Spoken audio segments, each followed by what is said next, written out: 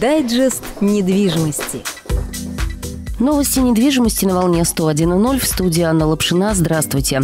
В России начали массово закрываться риэлторские агентства. За прошлый год в стране исчезли более 4 тысяч фирм, работавших на рынке недвижимости, сообщает РБК со ссылкой на экспертов отрасли. По данным издания, в 2015 году ситуация была более благополучной. С рынка ушли около 1900 компаний этого профиля. Одновременно в России замедлился темп регистрации новых риэлторских агентств агентств. Если в 2014 году во всех регионах страны суммарно открылось 4159 таких фирм, то к 2016 году число новых компаний в этой отрасли уменьшилось до 3165. Эксперты называют зафиксированную динамику следствием кризиса 2014 года. Он повлек за собой падение спроса и активный рост предложения.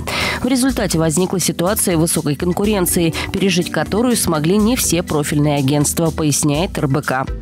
Дайджест недвижимости.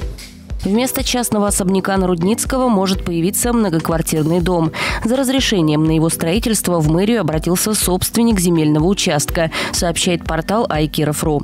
Два года назад он получил разрешение на возведение индивидуального жилого дома площадью 850 квадратных метров. Но решив, что для одной семьи это слишком много, хотел бы сделать здание многоквартирным, пояснил на собрании в город администрации представитель заинтересованного лица.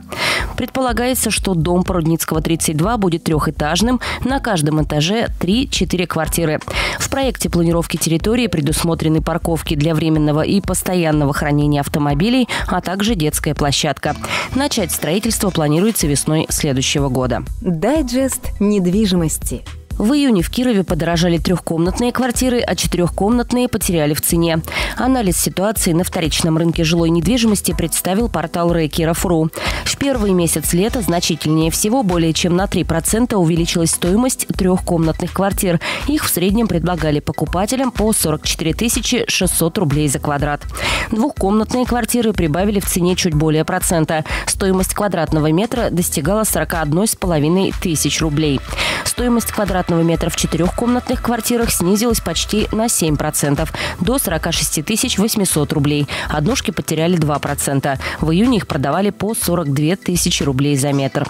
В среднем квадратный метр вторички в июне стоил почти столько же, сколько и в мае – 42 950 рублей. Самая дешевая квартира, выставленная на продажу – 13-метровая студия на улице Шорина – 530 тысяч рублей. Самая дорогая трехкомнатная квартира на улице Водопроводной Западной. 137 квадратных метров владелец оценил в 14,5 миллионов. На этом все. В студии работала Анна Лапшина. Дайджест недвижимости.